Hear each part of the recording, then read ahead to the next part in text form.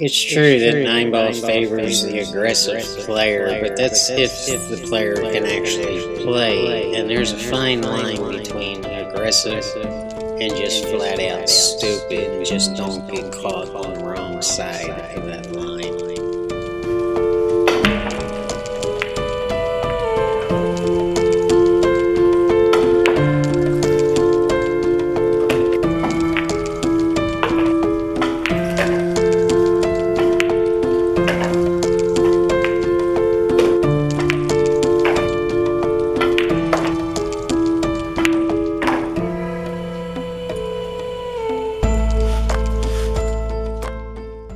When you're breaking off the rail like I happen to be doing, you're going to make the wing ball more consistently, but you're running a big risk of leaving the one ball somewhere near the center of the top rail. So if you're doing what you're supposed to be doing and leaving the cue ball anywhere around the center table, you're going to wind up with a dilemma on the one ball. So I've been experimenting with ways not to leave the one ball in the center of the top route. And the only consistent way I can find to avoid this is to move the cue ball closer to the center of the table. But I've been working on it and I'll keep you posted on what I discover here. But for now, this is what we have on this rack. And the big question here is do we play safe or if you want to get aggressive, uh, where do you want to shoot this one ball? We have this in the bottom right hand corner and we have this bank shot for the bottom left hand corner. So which shot is the right shot? But before we get to that, let's take a look at this 2-5 and we have a serious issue here.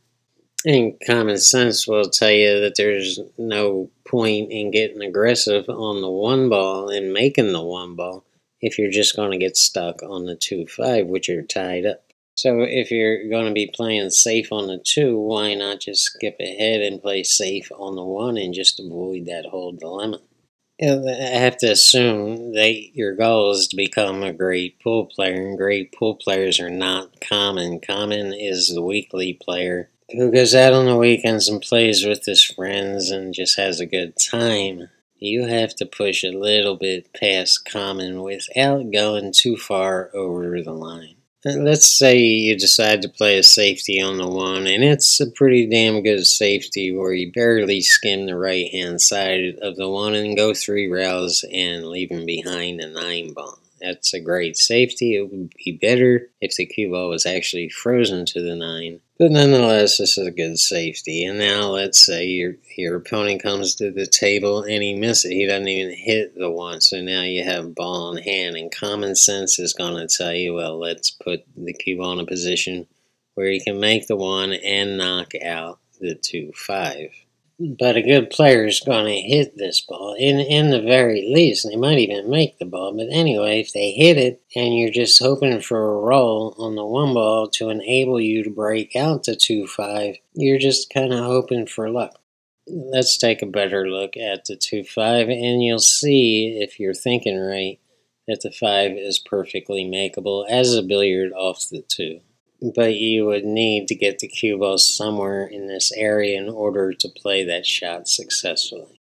So let's look at the second option here of banking the cue ball in the bottom left hand corner. And you're going to come up on, but right about, if you spin it a little bit, you're going to come up right about here on the bottom left hand side round. Which, again, if you hit it hard enough, you're going to break out the 5 2, and, and, you know, you're back to hoping for luck that you're going to get a roll on the 2 ball and you're going to have a shot that allows you to get on the 3 ball. Now, let's take a look at the shot in the bottom right hand corner, that bank shot, and this is going to put us 3 rounds in the exact position that you need to be in order to make this billiard on the 2 5. Your only real risk here is getting stuck behind that 9 ball or that 8 ball. But if you can get in this position, you can make this 5 ball and you can get out. And furthermore, if you look at the path of the 2 ball after the billiard, it's coming up right about here, and the cue ball is bouncing off to right about here, which is going to open up the whole game and allow you an easy run out. So if, if we look at the end result of shooting this billiard, you have an easy shot on the 2 ball. That allows you to get on the 3